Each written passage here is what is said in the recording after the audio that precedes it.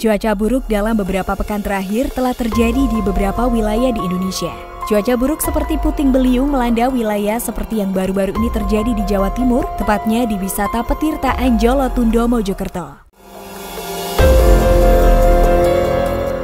Sebuah pohon tumbang akibat puting beliung menimpa sebuah warung kopi di kawasan wisata Petirtaan Jolotundo, Dusun Balikambang, Desa Seloliman, Kecamatan Trawas, Kabupaten Mojokerto, pada Minggu 14 November 2021.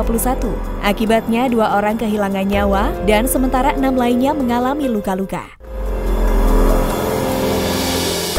Insiden naas tersebut terjadi usai wilayah Kecamatan Trawas, Kabupaten Mojokerto, diguyur hujan lebat sejak Minggu pukul 14 waktu Indonesia Barat. Pohon dengan diameter 80 cm tiba-tiba tumbang menimpa sebuah warung yang berada di sekitar lokasi wisata Jolotundo.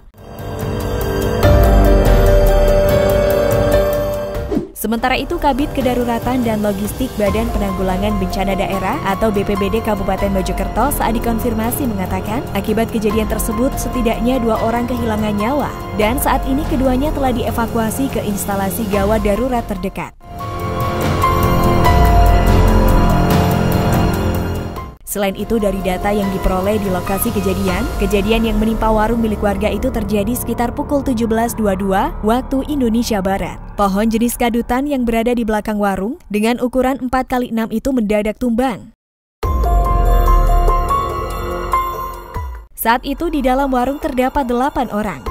Suwarno, pengurus LMNDH Seloliman mengatakan, pohon tumbang yang menimpa warung di area wisata Jolotundo terjadi sekitar pukul 16 waktu Indonesia Barat usai hujan deras mengguyur wilayah Trawas. Kata dia saat kejadian terdapat delapan orang yang berada di dalam warung, enam di antaranya merupakan pengunjung warung, sementara dua orang lagi merupakan anak pemilik warung dan pembantu warung.